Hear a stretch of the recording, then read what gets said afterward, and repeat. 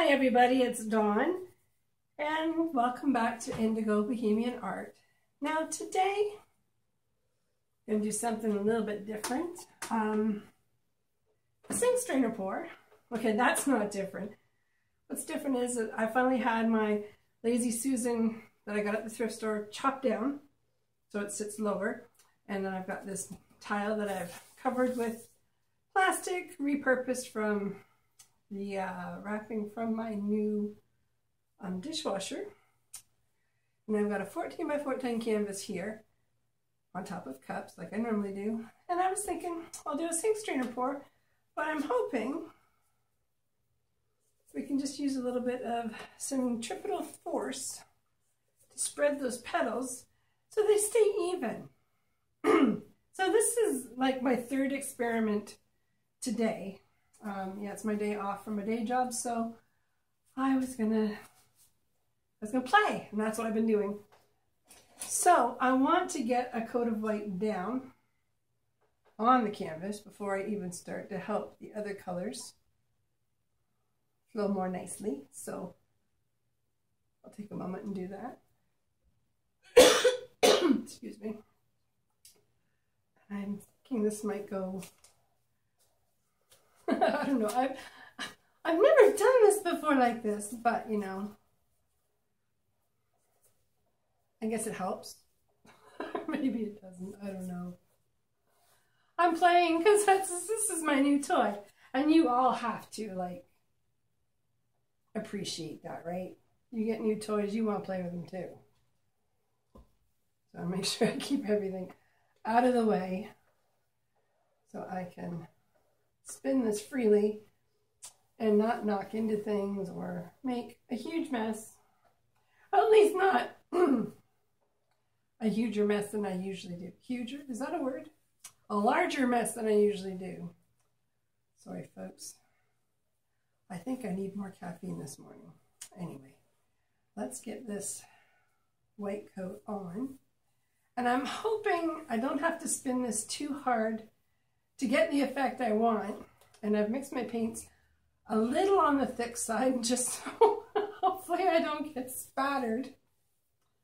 Um, that's not a guarantee, but you know, I thought at least that far ahead, thought, well, you know what, make it thick, maybe, maybe you'll do okay, Dawn. But you know what, we will see. I think I put a little too much paint on here. Or maybe it's just enough, I don't know to really help these other colors to move easily on the canvas. So, uh, okay, I didn't leave a spot to put that, so just put it over here for now.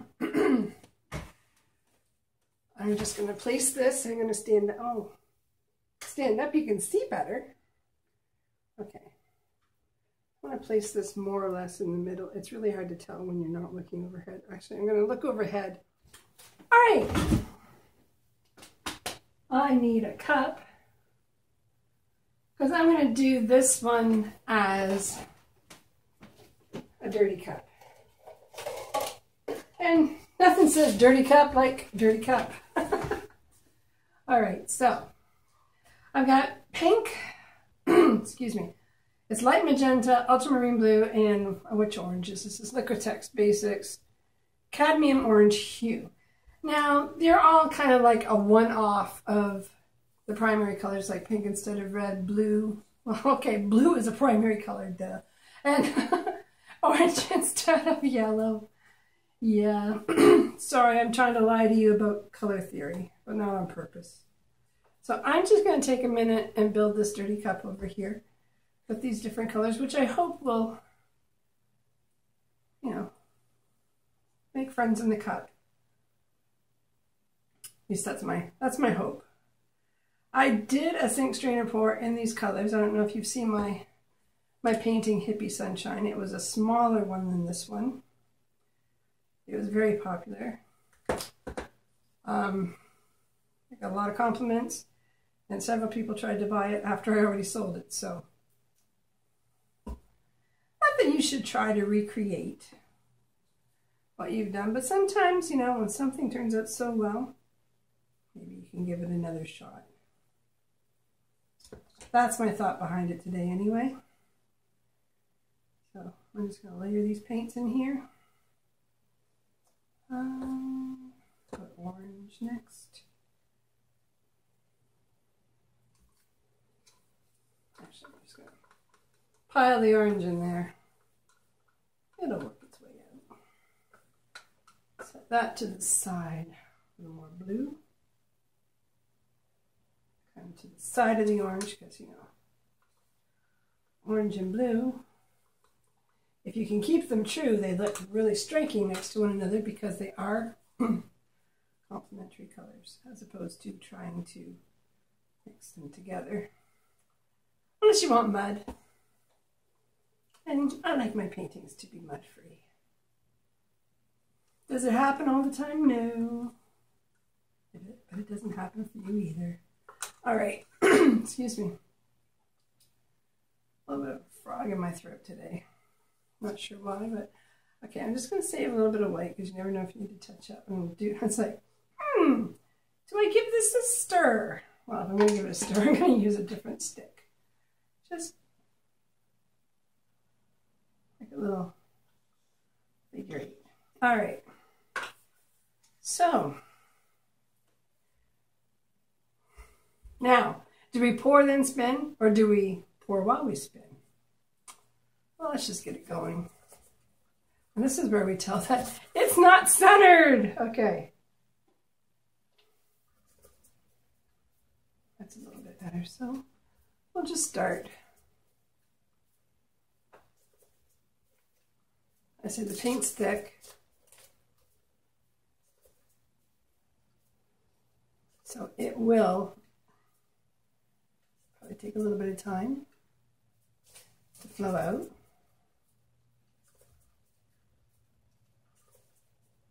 See what we can do. And just keep it going. Not too fast because we don't want the paint to fly off. Kind of feel like I'm in the casino playing with the roulette wheel.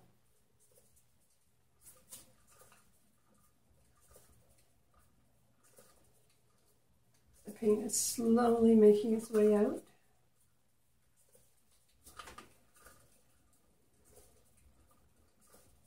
You hear the bearings and the Lazy Susan. Seems like it's helping to some degree, but maybe not the degree I want it to. getting close to the edge. And I was like, is it to just drip or is it to fly? I do not know this, but I will know this soon.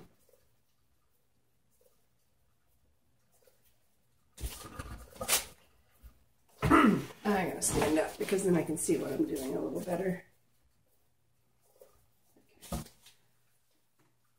The white is uh, making its way off, but not the rest.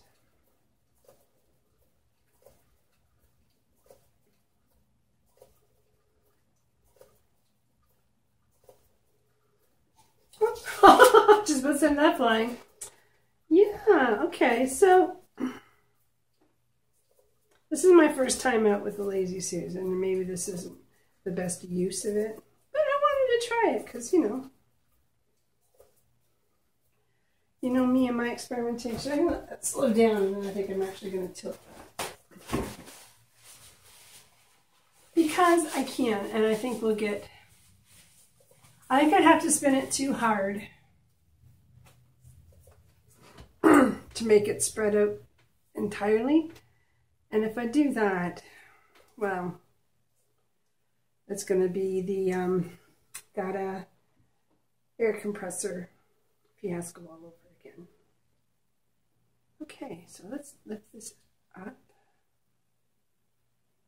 No way. All right. Actually, it's going to be a pretty cool looking six string or four. I think.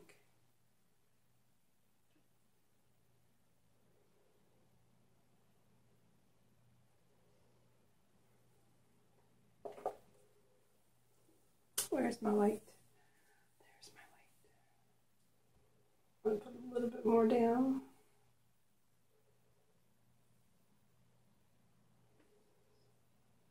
loose edges. Just to help it a little bit to move.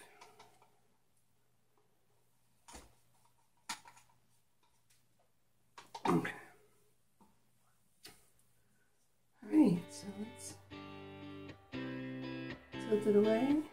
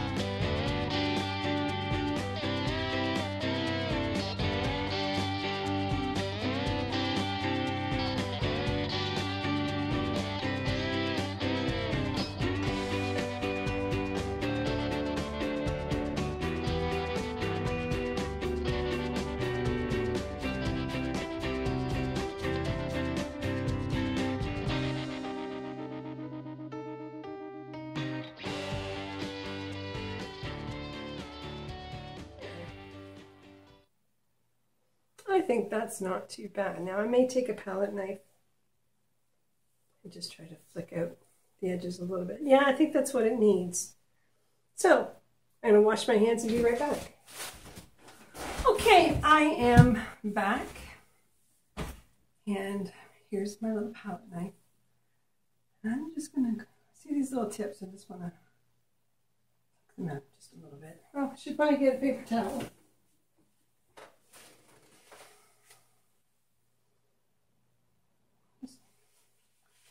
Just like that. And here where it didn't have a point.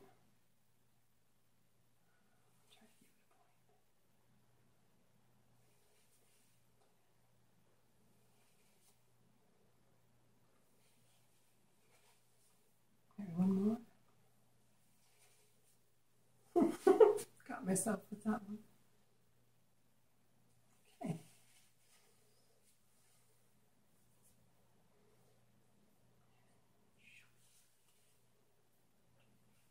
Oops. There.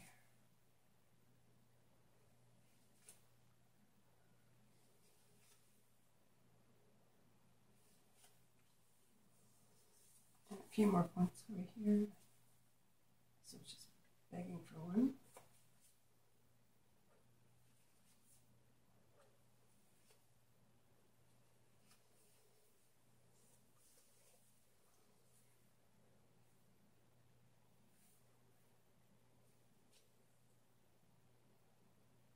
There's a little bit of white there. Just or maybe I just just leave it. Go over here. There we go. You can see a little better vantage points. So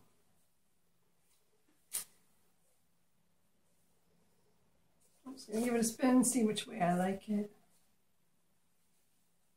Either like it this way. This way. No, I think I like it the other way.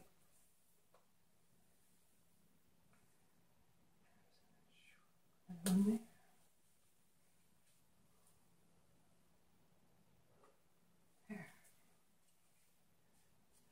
There. Fairly balanced, not well. This one can almost one too. There. All right, I'm going to get the camera down and uh, show you what it looks like close up. Back with the close up. I've got a lot of natural light coming in, so I've turned my other lights off. So, let's come in here. We have a lot of little cells, and that's just from the Floetrol.